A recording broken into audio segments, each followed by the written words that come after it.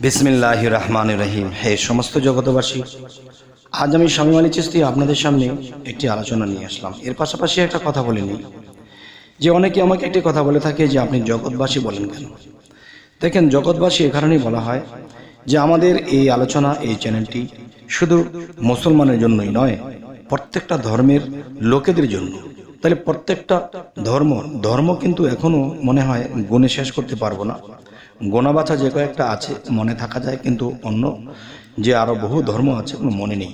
তবে আজকের কথা হলো, সকল ধর্মের যে বিষয়, যে সকল ধর্মের মানুষের জন্যই আজকের এই আলোচনা। তাই বলা হয় যে, হে সমস্ত জগতবাসী আচ্ছা তো এখন আজকের যে আলোচনাটি সেটা করব হলো, দেখুন, মানুষের পাপ, সমস্ত পাপ চলে যায়, পাপ পরিষ্কার হয়ে যায়, পাপ থাকে না।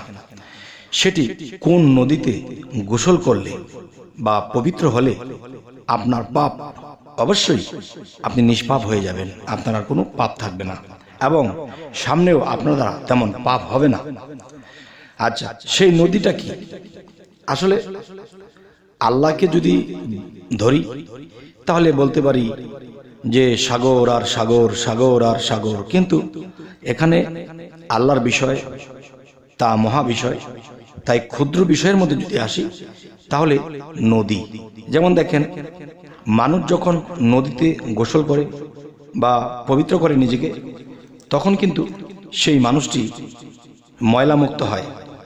তাহলে সেই ময়লামুক্ত হয়েছে কি? সেটি দেহের ময়লা সে পরিষ্কার করা হয়, পবিত্র করা হয়। তাহলে এখন আসব যে আমি যেই নদীর কথাটি আপনাদের সামনে নিয়ে এসেছি, সেই নদীটি হলো কি? সেই নদীটি হল একজন সিদ্ধ পুরুষ বা একজন পবিত্র মানুষ। দেখেন, একটি ভাষাতে হলো সিদ্ধ বা শুদ্ধ। তাহলে শুদ্ধ মানুষটি কিন্তু পবিত্র। তাহলে সেই পবিত্র একটি ভাষা, সিদ্ধ একটি ভাষা, শুদ্ধ একটি ভাষা এবং সুফি একটি ভাষা মূলত একই জায়গায় পৌঁছাবে এই চারোটি ভাষা। তাহলে আমার যে এখন যে একটা আশা, সেটি হলো অবশ্যই সম্পূর্ণ আলোচনাটি শুনবেন ইনশাল্লাহ সেই আলোচনাটি হলো, এই পৃথিবীতে যত শাস্ত্র গ্রন্থ আছে এবং হাদিস, কোরআন আছে, যতই মানুষে পড়ুক, কিন্তু সে নিজেকে কখনোই পবিত্র করতে পারবে না। দেখেন, সে হাদিস, কোরআন পড়তে হলেও কিন্তু সেই নদীতে অজু বা গোসল করে তারপর পবিত্র হয়ে তখন সে কোরআন, হাদিস পড়তে হবে। তো এখন আমি বলব যে আরেকটা পবিত্র আছে, সেটি হলো আত্মার পবিত্রতা, আত্মার শুদ্ধতা। সেটি কীভাবে?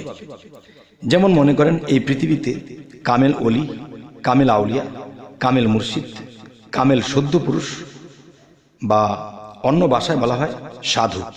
আচ্ছা অনেকে বলে শরীয়তের দৃষ্টিতে সাধু আবার কি? দেখেন, সাধু অর্থ যে নিজেকে পরিষ্কার করেছে, পবিত্র করেছে এবং নিজেকে ধুয়ে সাদা হয়ে গেছে। আর তাকে সাধু বলা হয় যে নিজেকে সাদা করেছে।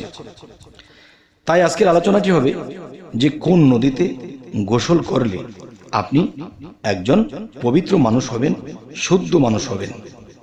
আর আল্লাহ কিন্তু কোরআনে বলেছে যে নিজেকে পবিত্র করল, সেই সফল কাম। আর সেই পবিত্র কি? পানি দিয়ে? না। সেই পানিটি নয়। তাহলে সেই নদীটা কি? যেই নদীতে গোসল করলে আপনি পবিত্র হয়ে যাবেন। আচ্ছা একটি নদী হলো একজন আউলিয়া, একজন আল্লাহর অলি আপনার জন্য নদী। আর সেই নদী, বিষয়টা হলো একজন আউলিয়া নিজে পবিত্র এবং তিনি অন্য কাউকে পবিত্র করতে পারেন। আর আল্লাহ হলো সাগর সাগর, মহাসাগর, যার কোনো কুল কিনার নেই। তাহলে সাগরে তো আমার পক্ষে সম্ভব নয়। কিন্তু এটি আমি বলব যে একজন অলি আউলিয়া, একজন শুদ্ধ পুরুষ, তিনি হলেন নদী। আর সেই নদীর কাছে গিয়ে যখন মাথা ঠুকাবে এবং তার কাছ থেকে জ্ঞান অর্জন করবে এবং সুপদের জ্ঞান অর্জন করবে তখনই সে নিজেকে পবিত্র করা হচ্ছে। আচ্ছা তাহলে দেখেন, ময়লা নদীতে যদি নদীর মধ্যে ময়লা আবর্জনা থাকে, তাহলে সেই নদী থেকে গোসল করে না? তাহলে এই পৃথিবীতে অনেক সুজ্ঞানের লোক আছে এবং কুজ্ঞানের লোক আছে। সে কুজ্ঞানের লোকের কাছে চললে আমিও ময়লাযুক্ত হয়ে যাব। আর যদি পরিষ্কার একজন সদ্য পুরুষের কাছে যাই, একজন পবিত্র মানুষের কাছে যাই, তাহলে আমি নিজেকে পবিত্র করে নিতে পারব। আর নিজেকে যেহেতু পবিত্র হয়, সেই পানি দ্বারা অজু করলে নদীতে ঠিক একজন শুদ্ধ পুরুষ, একজন পবিত্র মানুষের কাছে যখন যাব, তার সাথে চলবো, ফিরবো, খাব এবং তার চরিত্র গঠন আমার নিজের মধ্যে করব, তখনই দিন দিন আমার মধ্যে সেই আত্মার পবিত্রতা আসবে। যে দেখেন, দেহটাকে প্রতিদিন পাঁচ বেলা নামাজ পড়তে যে পাঁচবার অজু করে এবং পবিত্র হয়। কিন্তু দেখেন, এই দেহটা কিন্তু মাটির সাথে মিশবে। আর মানুষের মধ্যে যে আত্মা, এই আত্মা কিন্তু দুচোখে জ্বলবে যদি সে তার জীবনে কোনো পাপ থাকে। আর সেই পাপের ময়লাগুলো যখন আত্মাতে লেগে থাকবে, তখনই কিন্তু সেই মানুষটি জাহান নামে যাবে বা দুচোখে যাবে। তবে আজকের কথাটি হলো কি? একজন পবিত্র আল্লাহর অলি তিনি একজন নদী, আর সেই নদীতে গোসল করতে হবে। সেই গোসলটি হলো দেখুন, তার পবিত্র মুখের পবিত্র বাণী শুনতে হবে এবং তার বাণী অনুসারে আমাকে চলতে হবে এবং সাধনা করতে হবে। যেমন সাধনার কথা আল্লাহ বলেছে সুরা ইনসিরা, সুরা সাফাত তোমরা যখনই অবসর পাও, সাধনা করো। আবার বলেছে, সুরা সাফাতের মধ্যে এটিও বলেছেন আল্লাহ যে, দেখা যায় যে যারা আমার পথে সাধনায় আত্মনিয়োগ করে, আমি তাদেরকে পরিচালনা করে থাকি। তাহলে আল্লাহ যাকে পবিত্র হিসেবে নেবে এবং পবিত্র হিসেবে পাবে, তখন তাকে আল্লাহ নিজে পবিত্র করবে। কারণ আল্লাহ হলো মহাপবিত্র। আর আমি যদি ক্ষুদ্র পবিত্র হতে পারি, তাহলে সেই ক্ষুদ্র হয়ে যে আমি আছি, আল্লাহ মহা হয়ে সেই ক্ষুদ্রের সাথে মিশবে, তখন তাকে পরিচালনা করবে। তাই আমি বলতে চাই, কোরআনের মধ্যে যদি আমি প্রমাণ দিই, এই কথাগুলো অবশ্যই মানতে পারবেন। কেননা অনেকে মুখের কথা বিশ্বাস করবে, কিন্তু অবশ্যই কোরআনের আয়াত দিলে বিশ্বাস করবে। যেমন কিছু কিছু আয়াতে আল্লাহ বলেছেন যে যে নিজেকে পবিত্র করবে, সে সকল কাম। তো আমি নিজেকে পবিত্র করতে পারব না। তাই পবিত্র একজন মানুষের কাছে যেতে হবে। এবার আসি যে আল্লাহ কিন্তু এটিও বলেছে, তোমরা সলেহীন, সিদ্দিকিন, মোত্তাকিন, মমিনিনদের সাথে ওঠা বসা করো। কেননা আমি যদি কোনো গাঁজাখোর, মদখোর, জোয়াখোর, আমি খারাপ লোকের সাথে সঙ্গ রাখি, কোনো একদিন তার দেখা দেখি আমি গাঁজা খেয়ে ফেলব, তার দেখা দেখি আমি কোনোদিন দেখা গেছে মদ খেয়ে ফেলব, বাজে নেশা করে ফেলব। আচ্ছা আর যদি সলেহীন সিদ্দিকিন, মোত্তাকিন এবং মমিনিনদের সাথে ওঠা বসা করি, তাহলে কি হবে? তাহলে তার গুণাগুণ, তার চরিত্র, তার ভালো ভালো বিষয়গুলো আমার মধ্যে সেটিং হবে। তখন সেই অলির কাছে গিয়ে তখন আল্লাহ কি করবে? অলিদেরকে আল্লাহ বন্ধু বলে ডাকে।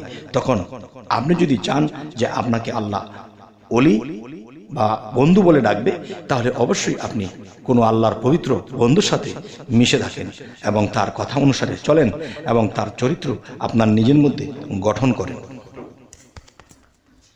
তাই আল্লাহ অনেক জায়গায় বলেছে, হে রাসুল, আপনার হাতে যারা হাত দিল তাদেরকে বলে দিন, তাদের হাতের উপরে আমি আল্লাহর হাত আছে।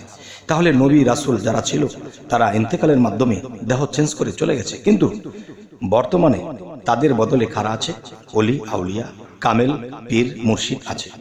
আমরা তাদের কাছে যে সেই সাধনাগুলো নিয়ে আমরা সেই কর্ম সেই সাধনাগুলো করব। তখনই নিজেকে যখন পবিত্র করতে পারব, তখনই আল্লাহ আমাকে পরিচালনা করবে। এই কথাটি আল্লাহ কোরআনে বলেছে। তবে হে সমস্ত জগতবাসী জানি না আমার এই আলোচনা আপনাদের কেমন লাগল। তো অবশ্যই নদী চিনতে হবে। একটি নদী পৃথিবীতে আরেকটি নদী হলো একজন কামেল অলি আউলিয়া।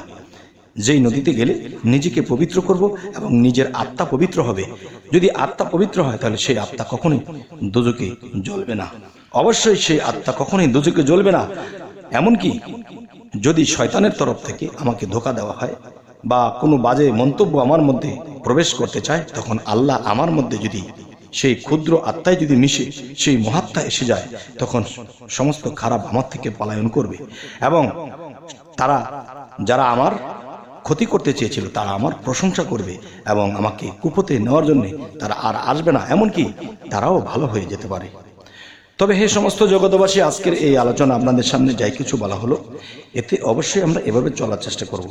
এবং আমাদের চ্যানেল যদি আপনাদের ভালো লাগে, তো অবশ্যই সাবস্ক্রাইব করে নেবেন। যদি ফেসবুক হয়, অবশ্যই আপনারা ফলো রাখবেন। পরবর্তীতে যেন ভালো আলোচনা এনে দিতে পারি, তো সকলেই ভালো থাকবেন। আল্লাহ হাফিজ।